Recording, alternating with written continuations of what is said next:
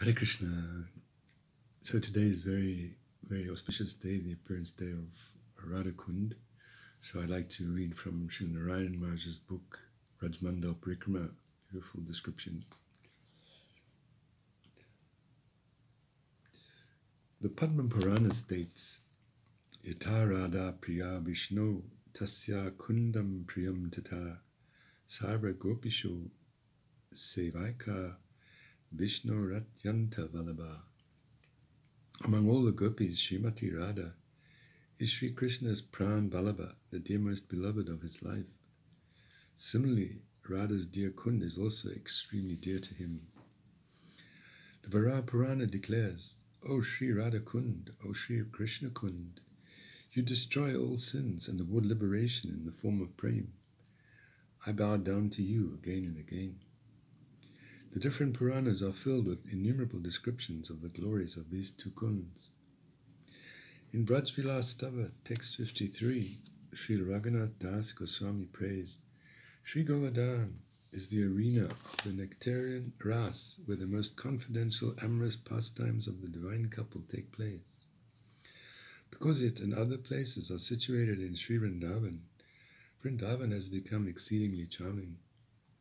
Yet the glories of Vrindavan, what to speak of Rajmandal's other pastime places, are not equal to a mere shadow of a particle of the glories of Sri Radhakund.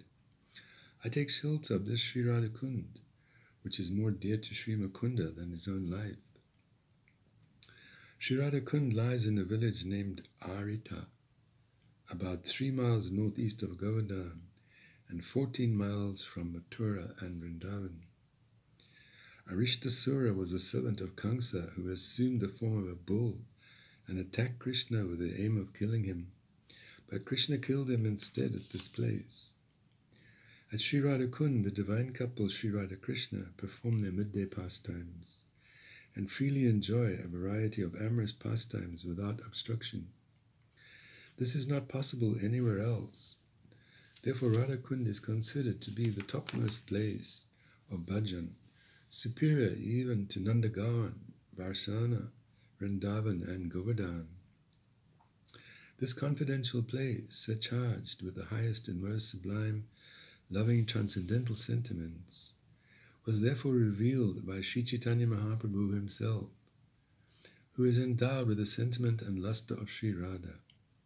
Previously, Sri Madhavendra Puri, Sri Lokanath Goswami, and Sri Bhugarbha Goswami also came to Vraj, where they revealed various pastime places of Krishna. But even they did not reveal this most confidential of places. Only Sri Gaurasundar, who is Sri Radha and Sri Krishna combined, was able to do so. The appearance of Radha Kund and Shyamakund. Sri Krishna killed Arishtasura during the day. That same night, he met with Sri Radhika and his other beloveds here. He was very eager to embrace Srimati Radhika, but as soon as he reached out to do so, she jokingly stepped back and said, Today you have killed a bull, which belongs to the cow family. You have therefore committed the sin of killing a cow. Please do not touch my pure body. Smiling, Krishna answered, O dearest one, I killed a demon who had deceitfully assumed the form of a bull. So how can sin touch me? Srimati insisted, Whatever he was, he was in the form of a bull when you killed him. So you are definitely guilty of the sin of killing a cow. The Sakis fully supported her words. Sri Krishna asked how he could atone for this sin. Srimati smiled and answered, The only atonement is to bathe in every holy place in the world. Hearing this, Sri Krishna created a wide kund simply by striking his heel on the ground. He then summoned all the holy places from all over the planet to come there. Uncountable holy places promptly came before Krishna in their personified forms, and Krishna asked them to enter the kund as water. Within a moment, the kund was filled with pure sacred water. When Sri Krishna had bathed in that kund, he again tried to embrace, embrace Srimati But in response to the bragging of her dear most beloved, Shrimati Radhika now wanted to manifest a kund full of water that was larger and more exquisite than Krishna's. She and her Sakis stubbornly dug out a very attractive kund nearby with their bracelets, but not so much as a drop of water appeared in it.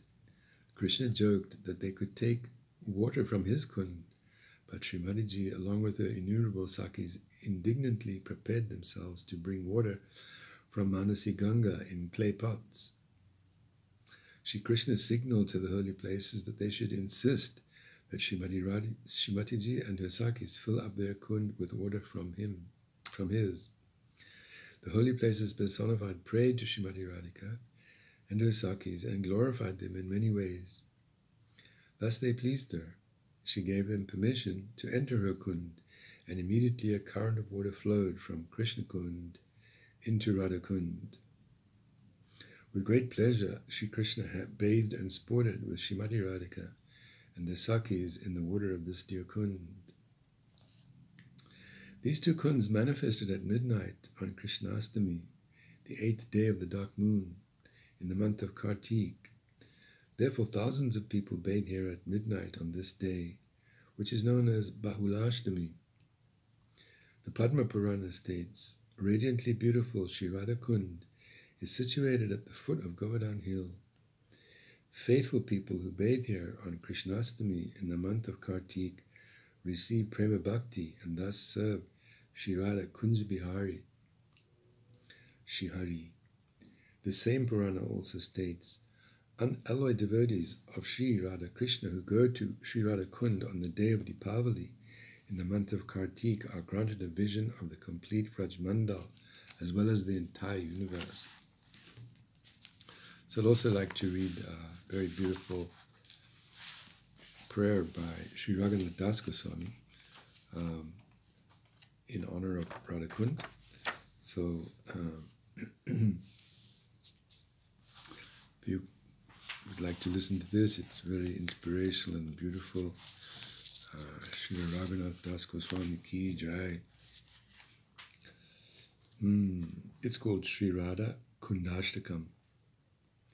Rishabha Danuja Nashan Narma Dharmaku Rangair Nikala Nija Sakibir Yatsva Hastena Purnam Prakatitam Api Vrindaranya Ragya Pramodais Tad Ati Surabhi Radha Kundam Evashrayo Me.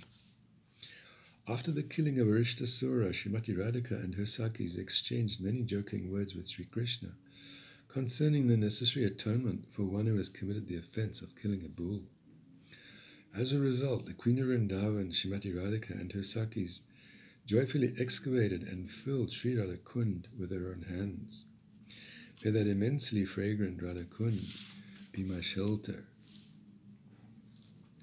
Braj Bhuvi Mura Shatro Preyasinam Nikamair Asulabam apiturnam prema kalpa drumam tam Janayati ridi bhumo snatu uchai priyam syat tad ati surabhi radakundam evaishrayo me.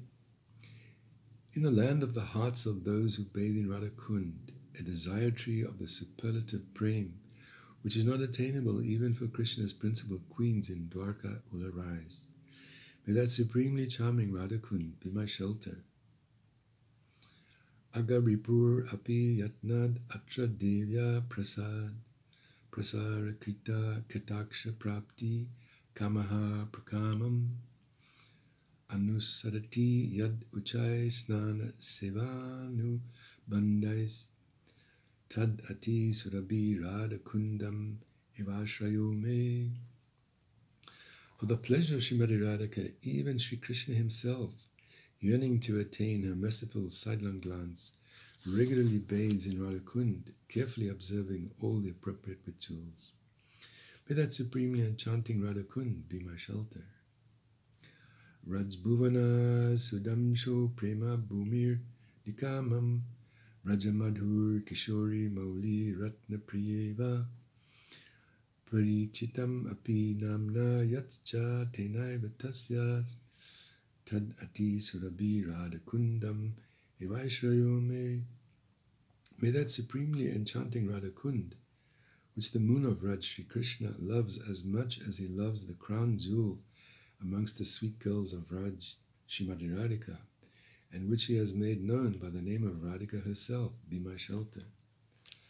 Api jana iha kaschid yasya seva prasadai pranaya sura lata syat tasya goshtin rasuno.